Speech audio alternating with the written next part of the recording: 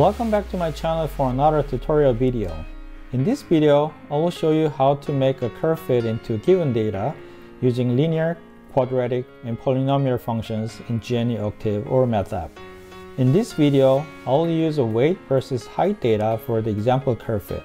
And at the end, we can practice how to predict the weight at the height that is not available in given data. In this video, we'll use linear, quadratic, and polynomial curve fit, and if you are interested in learning curve fitting, please keep on watching.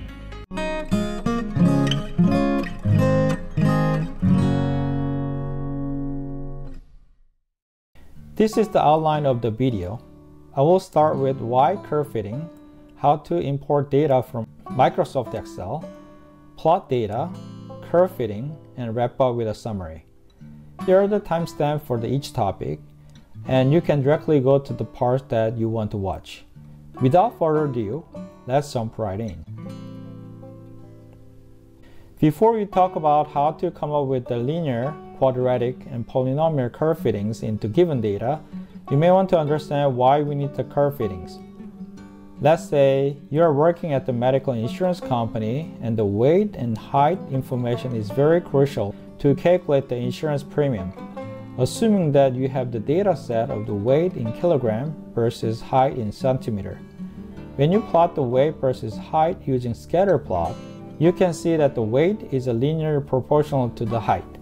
However, if you need the weight information of a person who knows the height, but the weight is not available, you need to come up with an approximate model. For example, if you need to predict the weight at the height of 170 centimeter, what is a reasonable way to predict it? One typical way is to use curve fit. You can come up with a function form to come up with a relation between weight and height, and then fill in the gap where the data are not available. Another popular way is to use the interpolation, but we can talk about this later in other video. Simply saying, we would like to have a predictive model for given data using curve fit. One common way to keep and handle the data is to use Microsoft Excel. In this video, I will use Microsoft Excel spreadsheet for height versus weight data. Generally, we would expect that the taller people are, the heavier they become. We can identify this trend from the given data. We have the height on x-axis and the weight on the y-axis. And we can see the weight increases as the height increases. In the spreadsheet, we have the height and weight data. The first step is to import the data into GNU-Octave or MATLAB. There are a few different ways to import the data from the Excel sheet, and here I will show the easiest and the straightforward method and perhaps I will make another videos for more sophisticated approaches later. To import the data from Excel, you can go to the Octave command window. We can create two variables with some random data. One is x and the other is y. And x will be used for the height, y will be for the weight. The random data can be used for the placeholders and those will be replaced by the actual data given in the Microsoft Excel. I can create x and y with number 1. Once you create variables, you can see the x and y in the workspace. When you click each variable, it will open the variable editor window, which is shown in the top upper corner. You can go to the Excel window and copy each column data and paste them in the variable editor to replace them.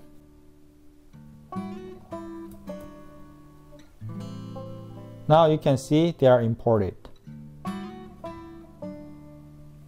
Before you make a curve fit, you may want to visualize the data that you want to work with. To plot the data, you can use the built-in function plot. Since we have x and y columnar vectors, you can make sure that you have the same length. We can use the built-in function length.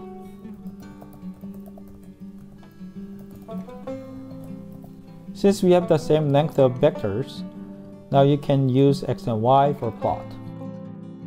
Now you can plot using plot.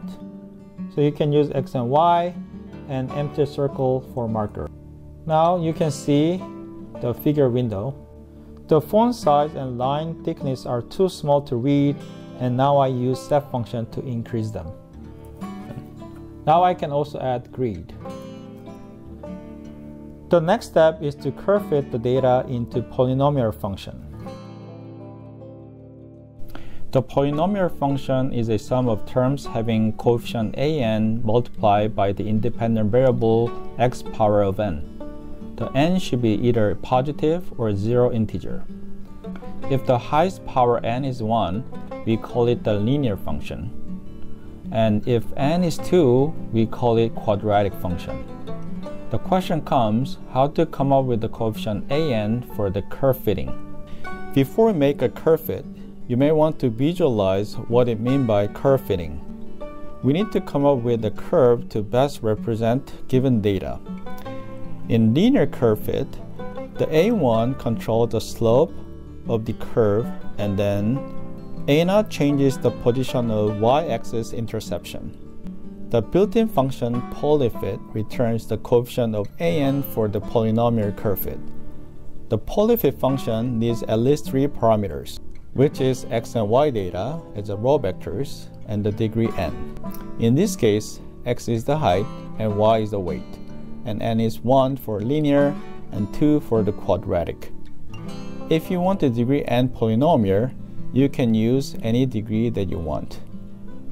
This polyfit returns the coefficient an as a row vector for the best curve fitting. For example, if you use n equal to 1, you have a1 and a0, and if you use n equals to 2, you will have a2, a1, and a0. Let's start with the linear curve fit. I will use a as a row vector for the coefficient an followed by polyfit x comma y comma 1. This will return A1 and A0. To check this is the best representation of given data, we can plot this linear curve and data in the same plot. I will generate the row vector x1 and y1 for the linear curve. I can start with x1 equals linear space, so lower bound x and upper bound x for 1 by 100 row vector.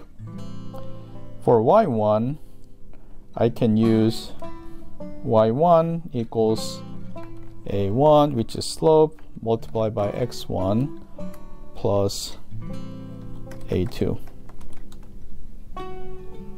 Once done, you can plot x comma y with the empty circle O for the data and x1 and y1 for linear curve fit.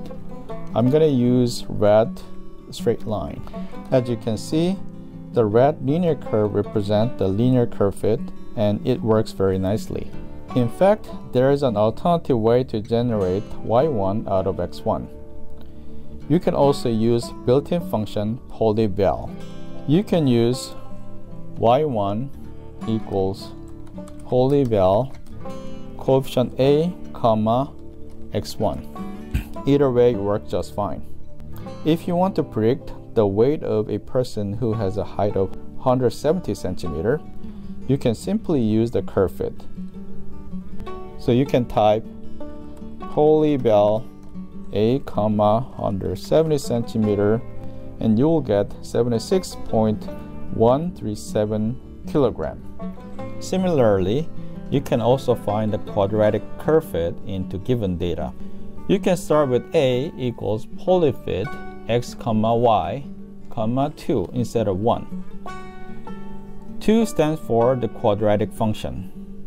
Since you have quadratic function, you will have a2, a1, and a0. To check this is the best representation of given data, you can plot the quadratic curve on top of given data in the same plot.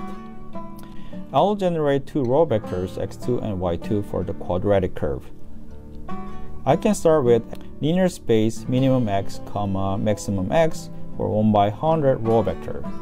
For y2, I can use y2 polyval a, comma x2. So once done, you can plot data as well as quadratic curve fit in the same figure window. The red quadratic curve represents the quadratic curve fit and it works very nicely. In summary, we went over why curve fitting and import data from Microsoft Excel and plot the data and polynomial curve fitting, including linear and quadratic curve fittings. Hope this tutorial video is useful. Thanks for watching this video and please subscribe my channel if you haven't done it yet. Thumbs up if you enjoyed. Please feel free to share your thoughts in the comment section down below. See you next time.